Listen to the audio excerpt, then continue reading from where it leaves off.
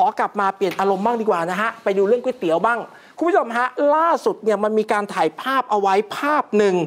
คือต้องบอกก่อนว่าเขาไม่ได้ตั้งใจโจมตี แต่เขาบอกเอ๊ะ20บาท คุณผู้ชมลองดูนะครับ เป็นก๋วยเตี๋ยวก๋วยเตี๋ยวเรือก๋วยเตี๋ยวเรือแต่ว่าในถ้วยเนี่ยนี่ 20 นี่ยังไม่ได้ทานนะคะแพ งหรือไม่แพงคุณผู้ชมลองดู Facebook แบตเตอรี่รถยนต์ โพสต์ภาพลงในกลุ่มคลองสามวา บอกก๋วยเตี๋ยวเรือที่อยู่ในชาม ปริมาณน้อยมาก ในชามมีอะไรบ้างอะเดี๋ยวแยกส่วนหน่อยนะครับ ลูกชิ้นหนึ่งลูก เส้นก๋วยเตี๋ยวเท่าหยิบมือ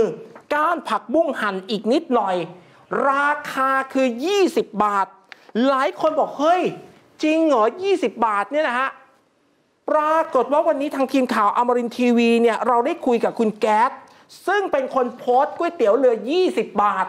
เจ้าตัวว่ายังไงป้ายวันนี้ ไปกินกับแฟนสั่งไป 200 เป็นก๋วยเตี๋ยวแบบในรูปเลยกินทั้งหมดประมาณ 6 ชาม แล้วตอนแรกก็ตกใจ เพราะว่าสั่งมาปุ๊บเนี่ยเอ่อพนักงานเสิร์ฟมาวางบนโต๊ะใช่ไหมคะอืม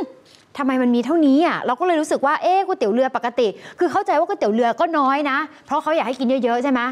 แต่ก็ต้องถ่ายรูปเอาไว้ หลังจากนั้นก็เรียกพนักงานมาถาม เพราะคิดว่าราคาไม่น่าจะถึง 20 สุดท้ายพนักงานบอก อ๋อ พี่ชามละ 20 บาท ก็เลยสงสัยว่าเดี๋ยวนี้ราคาคือข้าวของมันแพแป๊บงหหรืนึ่องเปล่าแล้วเขากินไปกี่ชามที่สำคัญนะฮะเขาบอกเขาถ่ายรูปเสร็จ หลังจากนั้นพอกินเสร็จเรียกพนักงานมาเก็บเงินถึงรู้ว่าชามละ 20 บาท เพราะตอนแรกดูจากปริมาณคิดว่า 15 จึงนำรูปไปโพสต์ในกลุ่ม ถ้าถามว่าอิ่มไหมก็ต้องบอกว่ากินคนละ3ชามกับแฟน ไม่ได้กะกินอิ่ม กะแค่เอารสยอมรับว่ารสชาติยังอร่อย เห็นบอกว่าสั่งไปเบ็ดเสร็จเนี่ยประมาณสักเท่าไหร่นะ200 บาทก็คนละ3ชามอย่างเงี้ยค่ะโอ้โหหกสิบคือในแต่ว่าใจยุคนี้อะแก๊สก็ขึ้นใช่ไหมอ๋อใช่มันราคาน้ำมันก็ขึ้นค่ะอะไรก็ขึ้น ไม่ได้มีเจตนาจะโจมตี และที่สำคัญถามว่าจะกลับไปกินอีกไหมก็จะกลับไปกิน เพราะอยากอุดหนุนพ่อค้าแม่ค้า เพียงแต่ตั้งคำถามว่าโอ้ยนี่20เลยเหรอ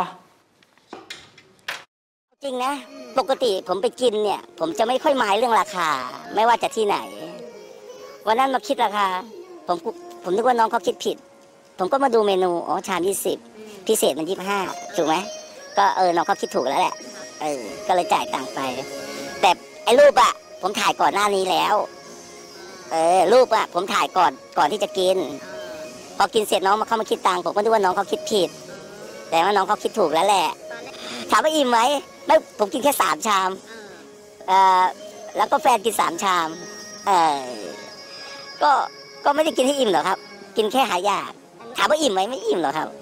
ล่าสุดอันนี้ต้องบอกก่อนนะครับ เราติดต่อไปยังเจ้าของร้านแล้ว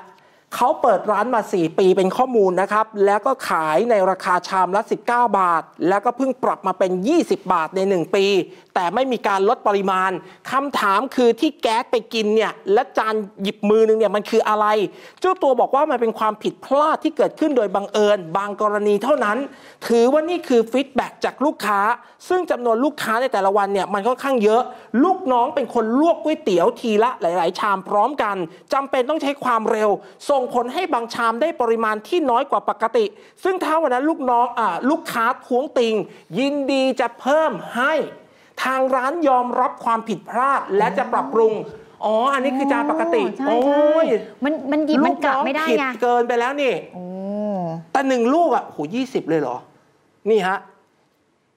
อันซ้ายมือคืออะไร ภาพปกติที่ทางร้านอ๋อขายอยู่ค่ะเหรอแล้ววันนั้นคือเข้าใจว่าลูกค้าเยอะมันหยิบแบบวิเคยรีเห็บนๆใช่ไหมนะก๋วยเตี๋ยวเรือบางทีจะหยิบเร็วๆอะใช่แล้วทำเหมือนหยิบเร็วไวๆสุดท้ายพอออกมาเนี่ยก็คือลูกน้องพลาดค่ะไม่ขอแก้ตัวอะไรทั้งสิ้น แล้วก็ไม่เอาเรื่องด้วยอืมแต่ร้านจะปรับปรุง อันนี้เป็นตัวอย่างที่ดีนะ แล้วก็ไปอุดหนุนกันต่อได้อะถือว่าเป็นบทเรียน